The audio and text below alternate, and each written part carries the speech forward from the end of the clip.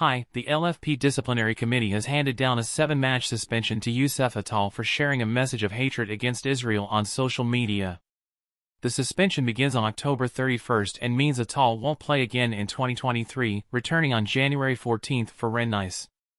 Atal reposted a video on Instagram featuring a Palestinian preacher making derogatory statements about Israel.